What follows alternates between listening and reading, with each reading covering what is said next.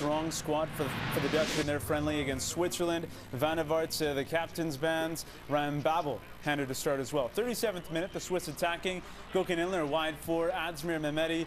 Puts his put it on his right and has a strike near post just wide of the targets.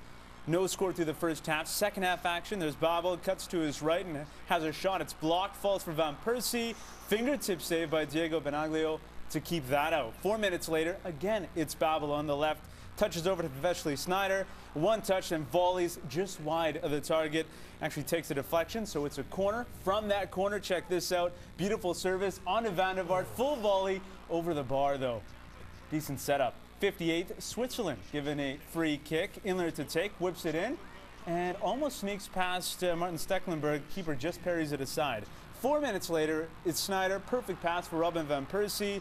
He's in alone at goal, sends it wide of the far post, and this ends with plenty of chances, but no goals in the end. Scoreless at full time between Holland and Switzerland.